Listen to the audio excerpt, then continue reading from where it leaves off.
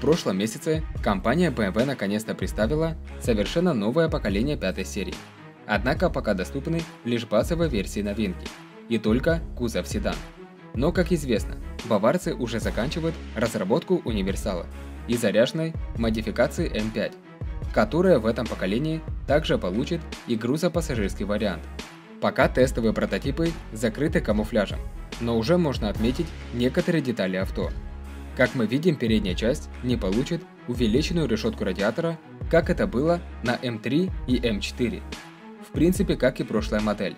Новая М5 будет отличаться более спортивным обвесом, массивными бамперами с огромными воздухозаборниками, расширенными колесными арками, другими дисками и так далее.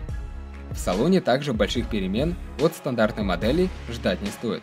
А вот под капотом поклонников BMW ждет революция.